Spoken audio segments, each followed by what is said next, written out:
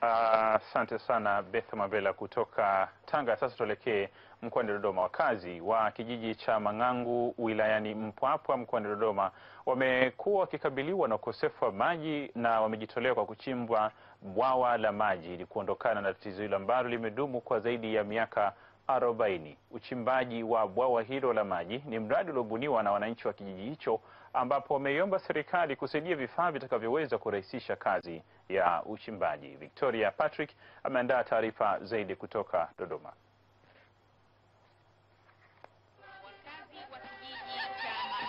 Tarafa ya Vingawe wilayani Mpwapwa baada ya kuteseka kwa muda mrefu kwa tatizo la maji wameamua kushiriki shughuli za maendeleo kwa lengo la kutoa changamoto inayowakabili ukosefu wa maji.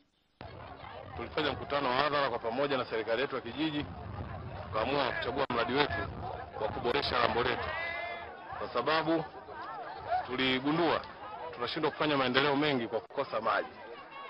Kwa hiyo tukaona tuje turekebishe mkalama huu ili tuteke maji ya mvua, tuvune maji ya mvua mengi ambayo yanaweza kakaa mwaka mzima.